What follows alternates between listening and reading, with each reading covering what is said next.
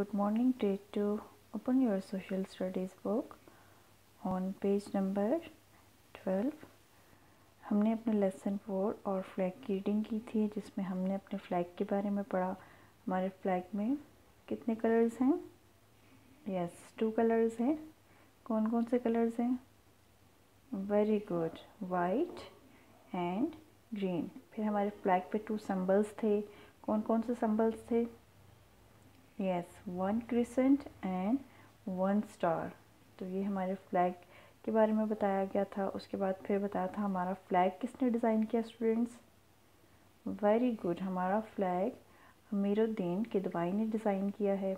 उसके बाद हमने ये भी पढ़ा कि हर कंट्री का अपना फ्लैग होता है। किसी भी कंट्री का सेम फ्लैग नहीं होता। तो यहाँ पे आपने ऐसा करना है। Draw and colour Pakistan flag. यहाँ पे आपने पाकिस्तान का फ्लैग ड्रॉ करना है, जिसकी पिक्चर पेज नंबर अलेवन पे आपको दी गई है। ये पाकिस्तान का फ्लैग है। ये फ्लैग आपने यहाँ पे ड्रॉ करना है और जो पाकिस्तान के फ्लैग में टू कलर्स हैं, उसी तरह से इनको इस फ्लैग को कलर भी करने हैं। नेक्स्ट देखें।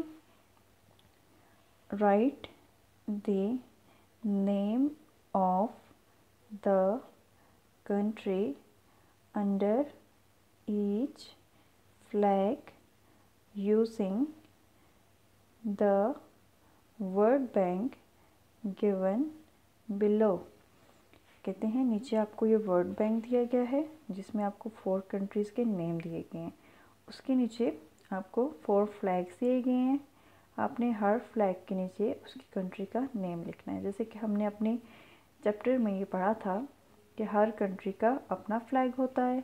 इसी तरह से अमेरिका, सऊदी अरेबिया, चाइना और बांग्लादेश के आपको नीचे फ्लैग दिए गए हैं। आपने हर फ्लैग के नीचे उसकी कंट्री का नेम लिखना है। जैसे फ़र्स्ट वाला फ्लैग हम देखेंगे तो हम इसको सर्च करेंगे कि कौन सी कंट्री का फ्लैग है। तो सर्च करने के बाद जब आपको ये पता चलेगा कि ये फ्लैग सऊदी अरेबिया का है तो यहाँ पे लिखा हुआ है सऊदी अरेबिया। तो ये सऊदी अरेबिया आपने यहाँ से ट्रेस करके इसको यहाँ पे लिखना है। तो इसी तरह से ये तीन फ्लैग्स हैं, इनको आपने ख़ुद सर्च करना है कि कौन कौन सी कंट्री के हैं कंट्री नेम्स ऊपर लिखे हुए हैं और फिर आपने इनके नीचे इनका कंट्री नेम लिखना है। फ़र्स्ट मैंने आपको बता दी है सऊदी अरेबिया का है और ये थ्री फ्लैग्स आपने ख़ुद सर्च करने हैं। अगर आप को फिर भी पता नहीं चलता, कोई इन्फॉर्मेशन आपको नहीं मिल रही तो आप मुझसे पूछ सकते हैं। ओके स्टूडेंट्स अल्लाह हाफिज़।